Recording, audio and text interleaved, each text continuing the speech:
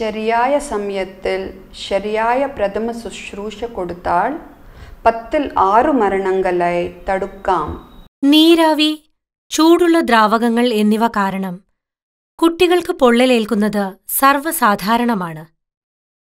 ദയവായി അവരെ ആവിയിൽ നിന്നും ചൂടിൽ നിന്നും അകറ്റി നിർത്തുക. പൊള്ളലേറ്റ ഇടത്തിൽ അഞ്ച് നിമിഷമെങ്കിലും തണുത്ത വെള്ളം പകരുക.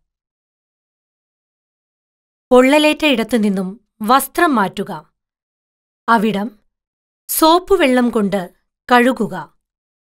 ഐസ് എണ്ണ ഗ്രീസ് ടൂത്ത് പേസ്റ്റ് വെണ്ണ എന്നിവ ഉപയോഗിക്കരുത്.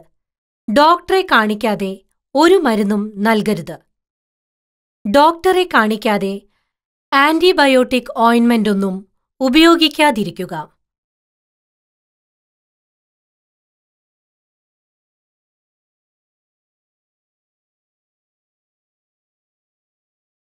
നേർത്ത ശുചിയായ തുണികൊണ്ട് ഡ്രസ്സിംഗ് ചെയ്ത് ഡോക്ടറെ കണ്ട ശേഷം തുടർന്നുള്ള ചികിത്സ നിശ്ചയിക്കുക.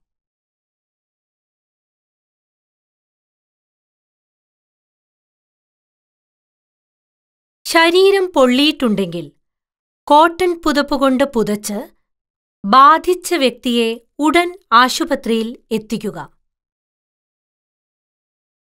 കൈകാലുകൾ മുഖം കഴുത്ത് ഇടുപ്പ് ഗുഹ്യഭാഗങ്ങൾ എന്നിവ കാര്യമായി പൊള്ളിയിട്ടുണ്ടെങ്കിൽ വ്രണങ്ങൾ ആഴമായി ചുറ്റും പടർന്നിട്ടുണ്ടെങ്കിൽ പ്രത്യേകിച്ച് അത്തരം പൊള്ളലേറ്റത് കുട്ടികൾക്കാണെങ്കിൽ എത്രയും പെട്ടെന്ന് ആശുപത്രിയിൽ എത്തിക്കുക. വൈദ്യുതാഘാതത്താലുള്ള പൊള്ളലുകൾക്കും രാസവസ്തുക്കളിൽ നിന്നുമുള്ള പൊള്ളലുകൾക്കും ഈ തത്വങ്ങൾ ഒന്നുതന്നെ.